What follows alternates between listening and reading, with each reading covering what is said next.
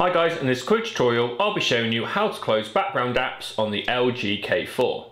Now when you back out of an app, uh, you may not know that it's actually not properly closed. In fact, many of these apps are still running in the background. While it may not seem a big problem, uh, if you're on a it, it, well, basically, if you're on limited battery life, they can actually still be draining the battery in the background and using little bits of your processor that could be best used elsewhere. So you want to be able to keep a close eye on your background apps and close them when necessary. To do this on from your home screen, press on the square symbol at the bottom. In the background now we'll be able to see the apps are currently open.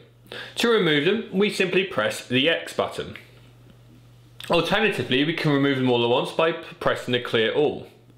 Or, uh, we can also pin them. So by pinning them, it means if we then press the clear all button, it will clear all the other apps bar the one we've pinned. So it's a good way of uh, keeping an app open if you need it, but closing everything else. And once you've done that, you'll automatically be taken back to your home screen. And that is how you clear background apps on the LG K4. Thanks for watching.